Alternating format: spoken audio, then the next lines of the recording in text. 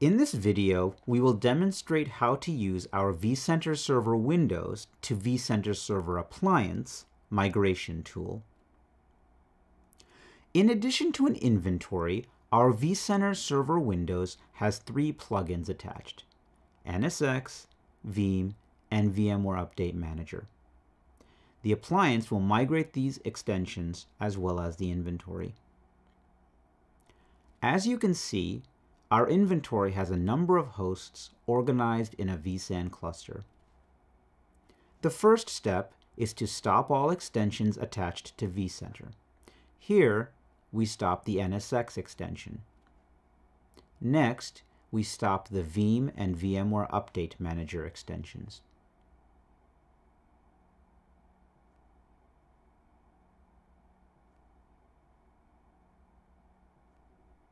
Now that these extensions are stopped, we will begin the migration. We have deployed the migration tool in our environment.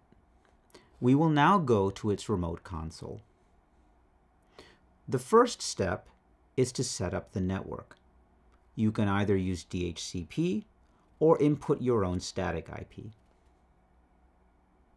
Before you begin the migration, you must deploy a vCenter Server appliance with the same IP address and host name as your source Windows vCenter server. Do not power on this appliance. We recommend that you snapshot this appliance in the event that any issues occur during migration.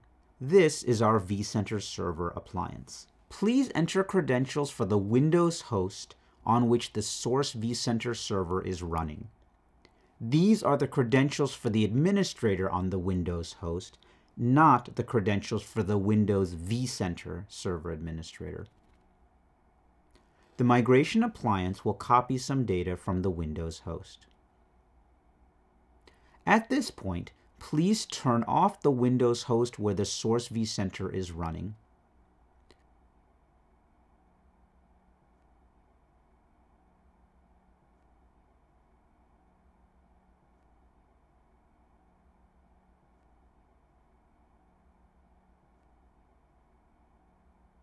When the Windows host is powered off, please power on the vCenter server appliance. Migration times will vary depending on the size of your inventory. Once you have powered on the vCenter server appliance, please return to the console of the migration tool to continue the migration. The tool will wait for the vCenter server appliance to be ready before it proceeds to the next step. Press Yes to accept the host key for the vCenter server appliance. Next, enter the root password for the vCenter server appliance. If you did not change it during deployment of the appliance, then the password is VMware. Next, enter the DNS search suffix for the vCenter server appliance.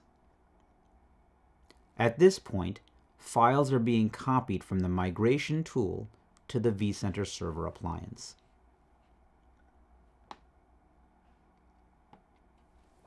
Next, log into the vCenter server appliance administrator console. The URL is given on the Tools screen. Proceed to configure the appliance and be sure to select Embedded Database. Use the same root password that you used when you deployed the appliance. Remember, the password is VMware if you have not changed anything. The configuration wizard will guide you through setting up the vCenter server appliance. On this page, select Set Custom Configuration. Next, keep the default database type, which is embedded.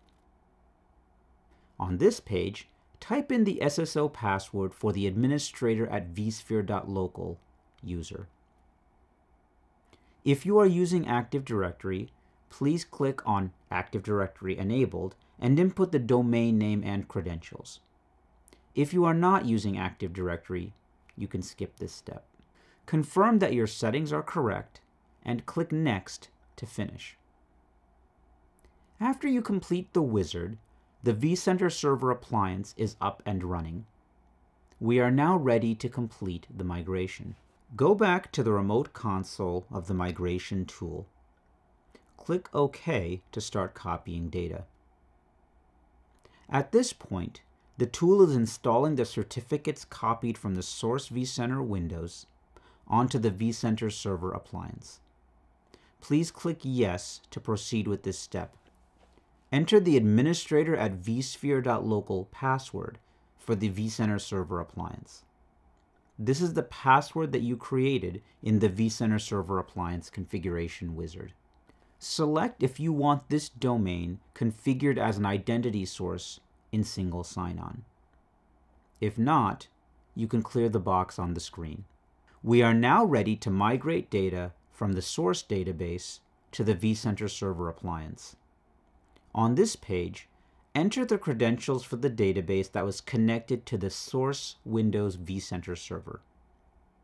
If you would like to migrate statistics, events, and tasks data, check the corresponding box. If you choose this option, the time required for the migration will increase. The migration of the inventory is complete. Now we must restart the extensions.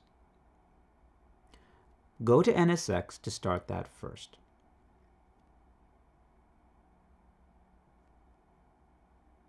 Next, restart Veeam.